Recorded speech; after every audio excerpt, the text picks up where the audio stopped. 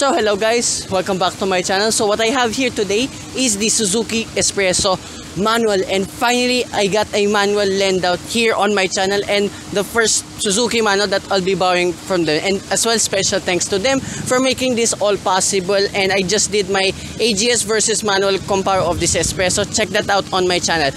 Okay like what I said in that review too take note this is an older 2020 year model albeit with some of uh, special edition ish kits uh, because there's like garnishes here around on the front and here too on the side profile. But let's just focus this uh, review on the manual transmission itself. So being an S-Presso even though the uh, updated model here has new bits here and there in the engine but everything throughout the exterior and the interior remains largely the same too. So pairing these S-Pressos are a 1 liter naturally aspirated 3 cylinder engine that produces 66 horsepower and 89 newton meters of torque and this uh, specific one is mated to a 5 speed manual transmission. I have a lot to talk about more now with this manual transmission compared like uh, per se with the Celerio AGS review. That was my first uh, long-term experience with Suzuki's famous auto gear shift function. So basically, uh, that's a automatic transmission but you have to make it act like a manual transmission. So that's why I wanted to borrow this Espresso manual because it's been a while too since I've driven uh, a manual transmission vehicle and thank goodness I still got it. All S-Pressos have a ground clearance of 180 millimeters. Silver skid plates over here since this was uh, converted to a somewhat a special edition. Here on the side profile, it's as cute as ever. You don't get repeaters here on the mirrors at all. They are located here on the body itself. Being to the 2024 year model and hilariously this uh, exact media unit has been fitted with the current alloy wheels which was present too in the older S-Presso special edition models. So here now at the rear of this S-Presso manual, well the rear has been largely the same since its inception and nothing much to talk about. You still get the tall cute looks now as Suzuki designed this to be a micro-ish SUV. I kinda understand it now but you have still uh, hatchback dimensions very similar still like what of the uh, Suzuki Celerio and open this boot up you use the key very 90s like my car kinda miss it still so despite being uh, having a small dimensions, you still have a general boot space at 239 liters, which is more or less the same like with the Celerio, and it will double, of course, once you fold all of the seats down too. And you can see the load lip is very tall. That's my Jordan mids. You cannot see it anymore. That's another advantage to with S-Pressos. Yes, getting stuff in and out might be a little bit of a hassle. However, though, it's still spacious nevertheless. So that's about it. Let's check out the interior. So this is the interior of the S-Presso manual. Here the door card, everything is plastic, but at least you still get cubby spaces and cup holders on either side. My big water jug half fits. I don't want to force it in because it might deform the plastic. Force it in. Kidding aside. And as well, it's kind of hot today. Turn this on. Alright, so Remember, this is the older 2020 model year, so this has the older uh, infotainment system. No Apple CarPlay or Android Auto. This is one of my nitpicks with this specific unit. However, if you go for the 2024 model year, you have an upgraded 7-inch infotainment system with Apple CarPlay and Android Auto. Okay, pretty responsive, very good. Uh, at least it's even better than the Celerio AGS, which doesn't have, have those features whatsoever. And to this specific one has manual adjustments for the side mirrors. Again, if you fast forward to today, the current model year gets electronic side mirror adjustments, your electronic stability control, and the ever famous yes the engine start stop feature. So sadly this mod is not equipped with it. However we'll get to that more once we get to drive this later on in the video. So another signature look to with this uh, all of the S-Pressos.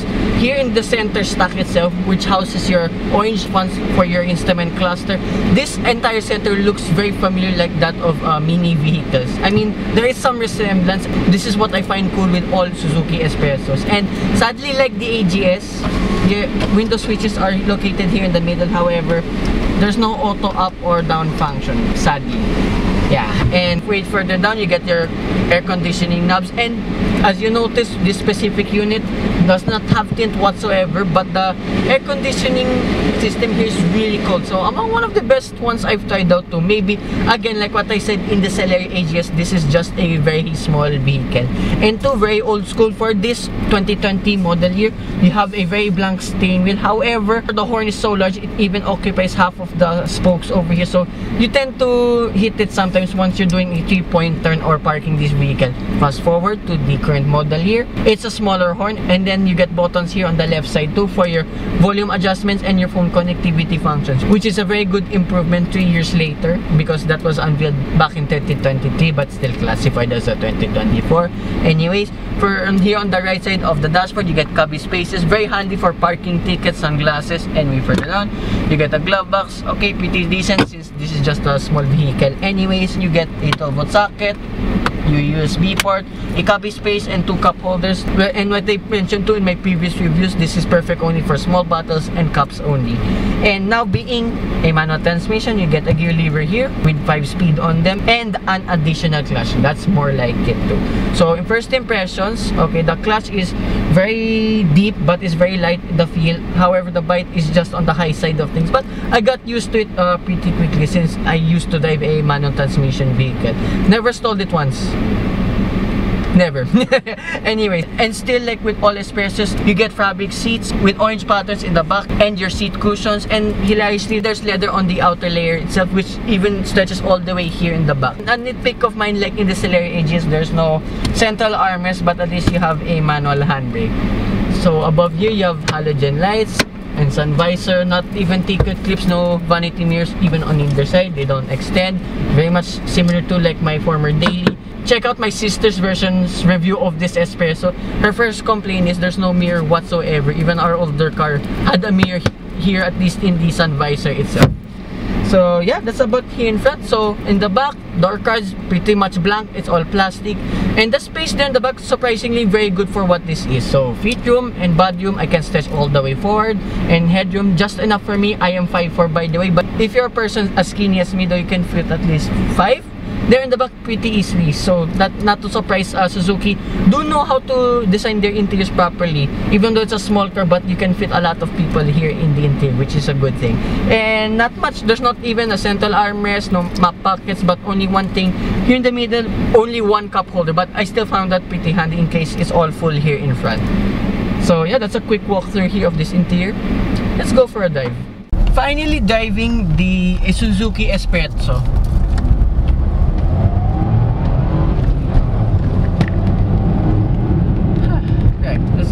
uh, get that out of the way immediately. So, the Espresso, I understand now why this is one of the more popular small cars you can buy here today in our country.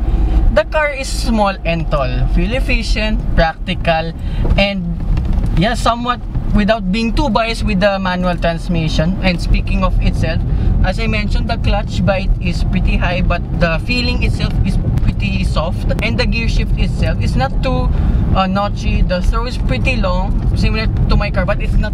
It doesn't give you the very hard feeling. So even though you never driven a manual transmission, this Suzuki S-Presso might be ideal for beginners who wanna try out a manual transmission. And your handling wise, okay, pretty good too. Surprisingly amount of uh, heft too in this thing wheel despite being a uh, such a small car too. And going back despite my bias, okay, I'll get that out of the way with that manual transmission, there's still some benefits with the AGS brand as I mentioned in my previous compare video. Some of you may know already, this Suzuki S-Presso was one of my choices to out of the four cars to be my next daily or as a second car. And to this day, this Espresso manual remains a top choice for me. The ground clearance, as I mentioned, is 180 millimeters, which is impressive for a car this small. It even can conquer the steepest of runs, example like the one in my garage. If you plan to go light off-roading, uh, this will do the job just fine. I mean, even though you have a quite a stiff suspension, speaking of two, the trade-off is the suspension is a little bit firmer than I expected. However though, like here, it still soaks up bumps and humps pretty well.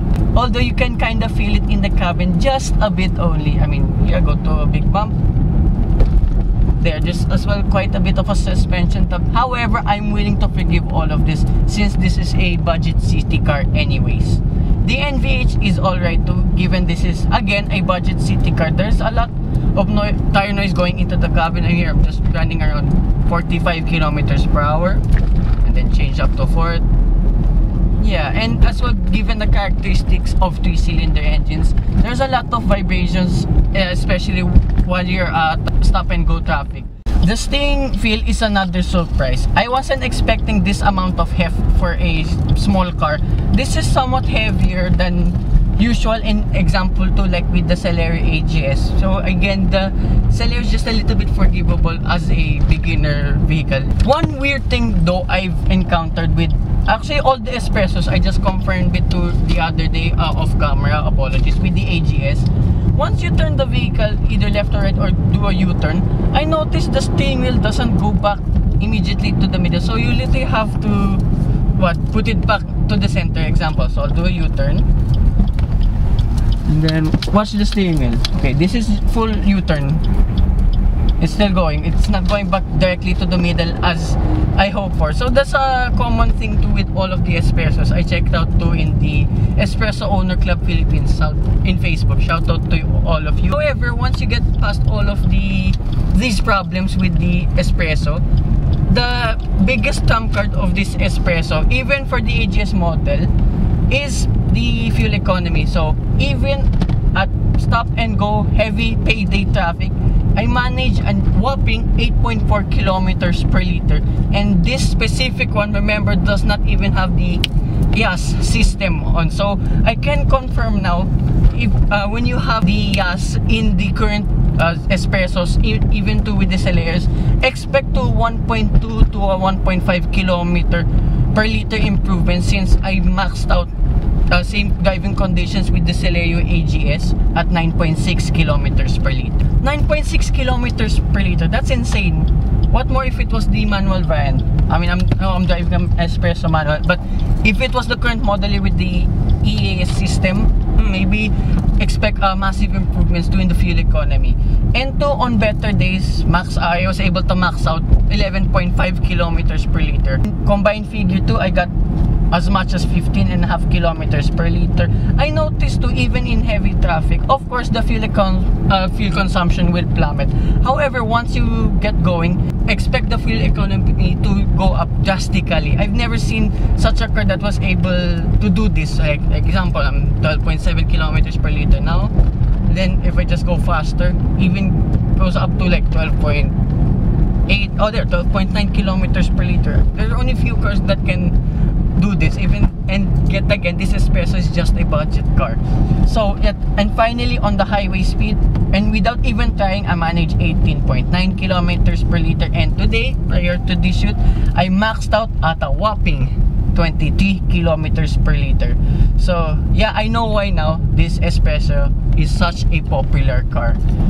So yeah that concludes my review of this Suzuki S-Presso manual so I'd like to thank everyone at Suzuki Auto Philippines for making this all possible and as well uh, special thanks to all of you guys for allowing me to drive a manual transmission S-Presso. So one more time. The gain's quite long but that's given in this car.